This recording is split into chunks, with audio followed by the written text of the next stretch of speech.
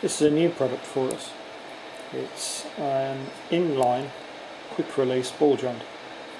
This particular one is quarter UNF. So that's a quarter UNF male and quarter UNF female. And to remove the joint, pull the collar back,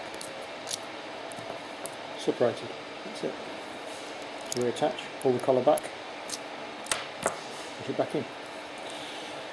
These are made so that the female and male threads are in line.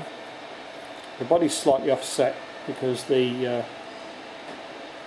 shell as we call it holds the ball pin in and prevents it rattling about.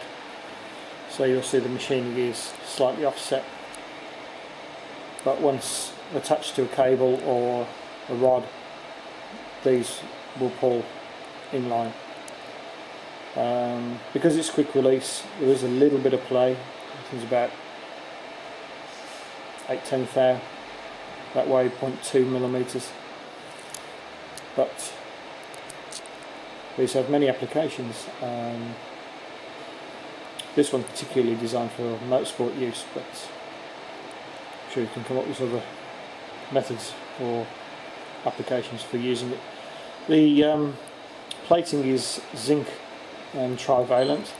So that's uh, 96 hours to white rust and is a standard commercial finish. The shell is knurled so you can grip it with greasy fingers. And um, we'll soon have these available on eBay or if you just want to contact us directly the details are at the end of the video. Thanks very much for looking